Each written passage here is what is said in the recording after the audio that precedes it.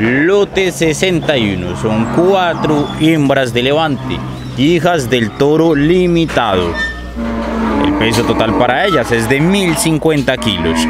Peso promedio para cada una es de 263 kilos procedentes de Puerto Boyacá. La base es de 7 mil pesos por kilo. Pesadas a las 7 y 15 de la mañana. Lote 61. Son cuatro hembras de levante.